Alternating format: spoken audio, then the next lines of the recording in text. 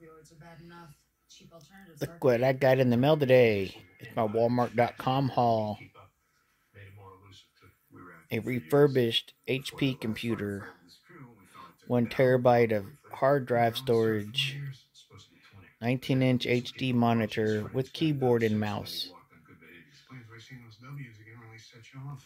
So that's what I got. Came in today. I could not beat the price on it either. It's nothing but a front.